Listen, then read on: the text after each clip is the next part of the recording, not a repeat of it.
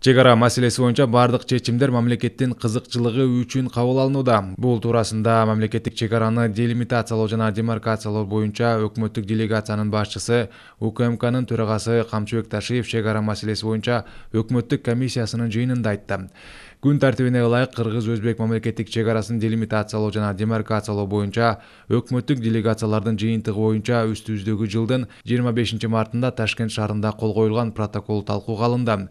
Камчыбек ташиев белгилегендей протоколдо көрсөтүлгөн баардык чечимдер эки өлкөнүн мамлекеттик кызыкчылыктарын эске алуу менен чечилген баардык чечимдер мамлекеттин чектеш аймактарда жашаган жарандардын кызыкчылыгы үчүн кабыл алынууда жана мындан ары карай да кабыл алынмакчы протоколдун ар бир пункту талашка түшүп көптөгөн күч аракеттер аркылуу гана мамлекеттик жерибиздин ар бир метрин жактадык. Учурда эл арасында толук маалыматка ээ болбостон талдоого албастан мени сынга алгандар болууда.